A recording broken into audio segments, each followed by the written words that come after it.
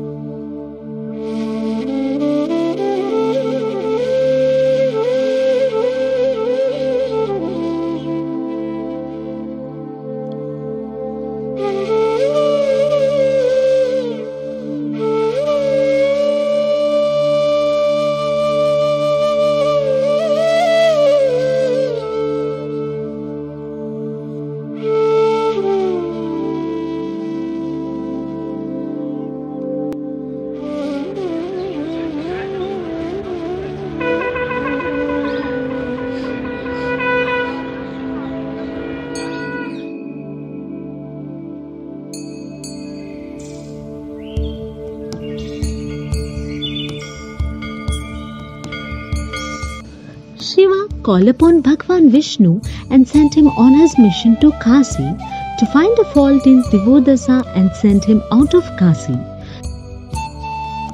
Vishnu took the form of Buddhist monk and named himself Punyakriti and persuaded Divodasa to leave Kasi. Finally, Vishnu was successful in regaining Kashi to Shiva.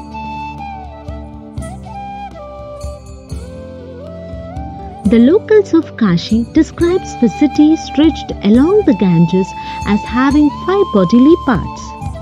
Asi is the head, Dasasvameda is the chest, Manikarnika is navel, Panchaganga is the thighs, and Adikeshav is the feet.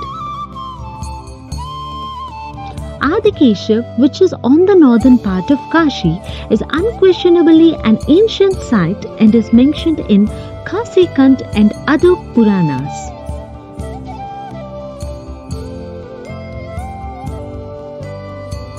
Vishnu has two great temples in Kasi, Adikeshav and Bindu Madhav.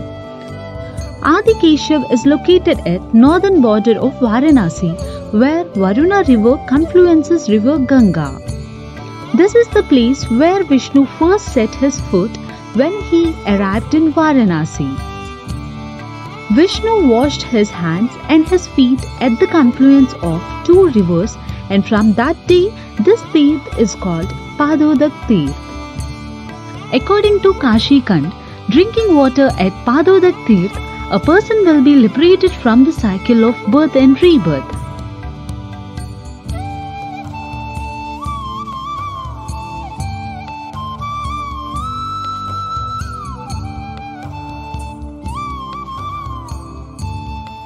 Adikeshav is said to have been established by Vishnu himself when he first came to Varanasi on his mission for Shiva.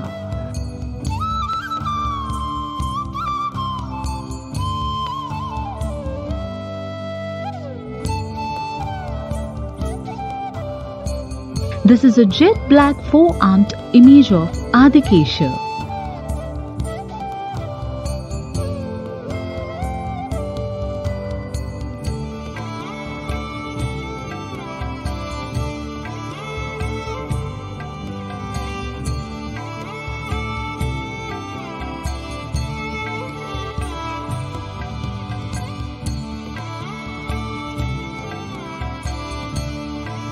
One can have darshan of Varuna Sangameshwar, Nakshatreshwar and Gnan Keshav at this site.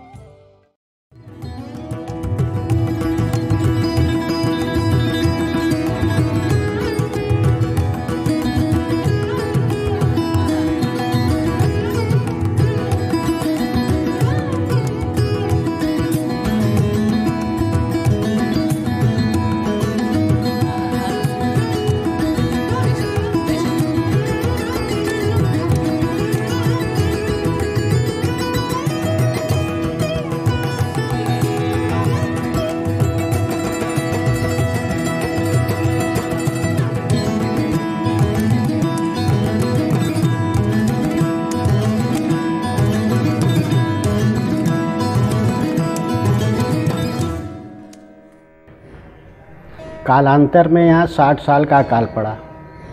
त्राई त्राई much गई, लोग भूखों मरने लगे, पेड़ पत्ता खाने लगे, मांसाहारी हो गए। पूजा पाठ जब तक होना बंद हो गया, उससे देवताओं की भी शक्ति क्षीण होने लगी। ब्रह्मा जी का निगाह पड़ा तो उनको समझ में आया कि तो हमारी बनाई सृष्टि समाप्त हो जाएगी। चारों तरफ़ भ्रमण किए। पूरे धरती पर अकाल पड़ा था, हाहाकार मचा था। लेकिन काशी में एक मनु वंश के थे, उनका नाम था रिपुंजय। पूजा कर रहे थे। ब्रह्मा जी का निगाह पड़ा तो आए उसके पास। उन्होंने कहा कि भाई, तुम्हारे पर अकाल का कोई प्रभाव नहीं है। तुम पूजा पाठ कर रहे हो। हो सकता है तुम्हारे द्वारा धरती का कल्याण हो जाए। तुम ही देख रेख करो यहाँ की। उसने कहा, ठीक है प्रभु, आपकी आज्ञा है तो हम देख रेख करेंगे। बसरते यहाँ से सभी देवी देवता देवलोक चले जाएँ। नाग देवता नागलोक चले जाएँ। हम अपने पूजा पाठ जब तक से पूरा खुशहाली लाएँगे। ब्रह्मा जी ने कहा, ठीक है। लेकिन काशी में कोई भी आए तो उसका अनादर न हो। इसका ध्यान देना होगा तुम्हें। इसके अलावा आज से लोग तुम्हें दियोदास नाम से जानेंगे। उसने कहा, ठीक है। ब्रह्मा जी ने जाके शिव जी से आग्रह किया, प्रभु, ऐसी बात है। वड़भंगी आदमी सभी देवताओं से मंदराचल पर्वत पर चले गए। यहाँ दियोदास ने अपने पूजा पाठ जब तब से पूरा खुशहाली ला दिया। यहाँ सभी संपन्न हो गए। अकाल मृत्यु खत्म हो गई। औरतें पतिव्रता होने लगी।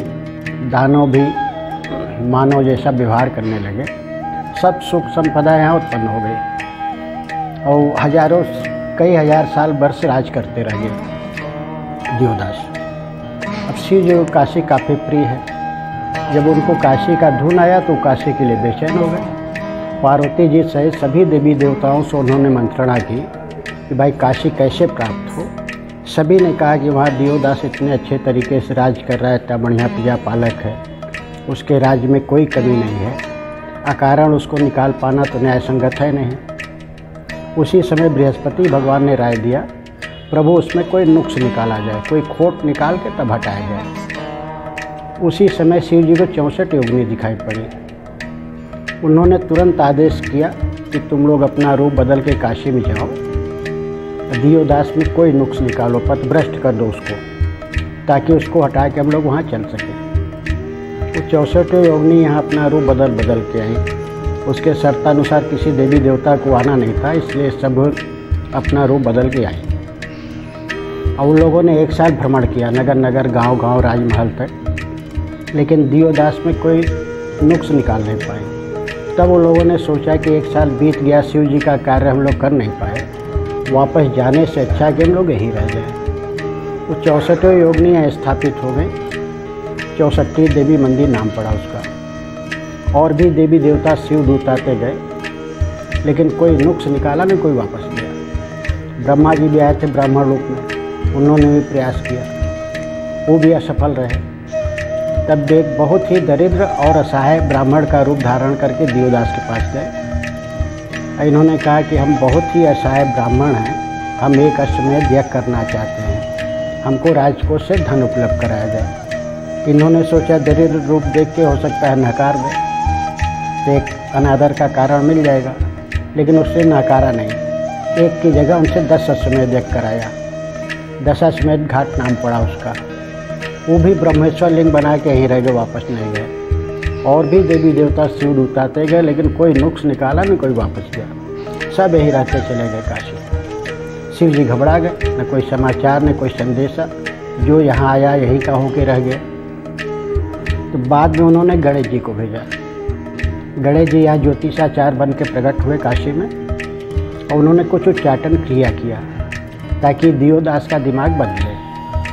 ज्योतिषी रूप में भ्रमण कर रहे थे। दियोदास को मालूम हुआ कि हमारे राज्य में कोई ज्योतिषी आया है तो उसने बुलवाया और उच्चाटन क्रियाएँ कर चुके थे। उसने कहा कि ज्योतिषी देवता, हम तो कई हज़ार साल वर्ष से राज करते आ रहे हैं। हमारा अब तक का समय बहुत अच्छा बीता है। अब हमें विरक्त भाव पैदा हुआ है। हमारा भविष्य देखकर बतलाइए कि हमारा अंत भी भला हो।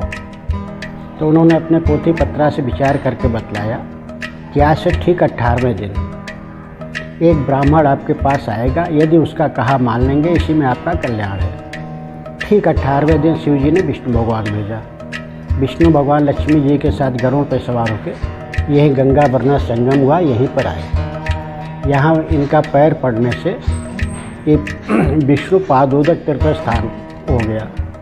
यहाँ स्नान करने से संगम पर, तर्पण करने से आदमी जन्म जन्म मरण के मुक्ति पा जाता है। यहाँ हाथ पाँव पखारने के बाद विष्णु भगवान ने अपनी त्रैलोक व्यापनी मूर्ति को समाहित करते हुए एक काले पत्थर की अपनी आकृति की स्थापना की, इनका नाम आदि आदिकेश्वर रखा। स्वयं विष्णु भगवान ने कहा, अविमुक्ते अमृते क्षेत्र ये अर्चयंत्यादिकेशव ते अमृतत्व भजनते सर्व दुख विवर्जिता मतलब अमृत स्वरूप अवमुक्त क्षेत्र काशी में जो भी हमारे आदि केशव रूप का पूजन करेगा, वह सभी दुखों से रहित होकर अंत में अमृत तत्व को प्राप्त हो इसके बाद यहाँ से ब्राह्मण रूप में दियोदास के पास गए। उसको अठारहवें दिन इंतज़ार था ही ब्राह्मण का, गणेश जी ने बतलाया था। इनसे भेंट होते ही उसने सब कथा कहानी अपनी सुनाई। तो इन्होंने कहा कि भाई, तुमने इतने अच्छे तरीके से राज किया, इतना बढ़िया प्रजा पालक थे, तुम्हारे राज में कोई कमी नहीं थी। तुम मोक्ष के बाजी तो हो चुके हो। लेकिन तुमसे एक गलती हुई है जो तुमने देवों के देव महादेव को निष्कासित कर दिया। तो उसने कहा, उसके प्रायश्चित के लिए कोई उपाय बताइए। तब इन्होंने कहा कि भाई, तुम शिवलिंग स्थापित करके सात दिन तपस्या करो। सातवें दिन शिव दूत आएँगे, वही तुम्हारा कल्याण करेंगे। यहाँ मीर घाट पर विशालाक्षी मंदिर है, उसी के पास दियोदादेश्वर मंदिर है। उसी शिवलिंग को स्थापित करके दियोदास ने सात दिन तपस्या की। सातवें दिन शिवदूत आए विमान से। उन लोगों ने दियोदास को बाकायदा शंकर रूप में तैयार कर दिया। जटाजूट, तीसरा नेत्र, अर्धचंद्र, बाकायदा शंकर रूप में तैयार करके उसको सशरीर शिवलोक ले गए। उसके बाद शिव जी पुनः काशी में आए। तब शिव जी ने विष्णु भगवान से कहा कि आप भी रहिए। इन्होंने कहा, ठीक है। वरुणा नदी से मणिकर्णिका घाट तक हम रहेंगे वैष्णोपुरी और वहाँ से अस्सी घाट तक आप रहिए शिवपुरी।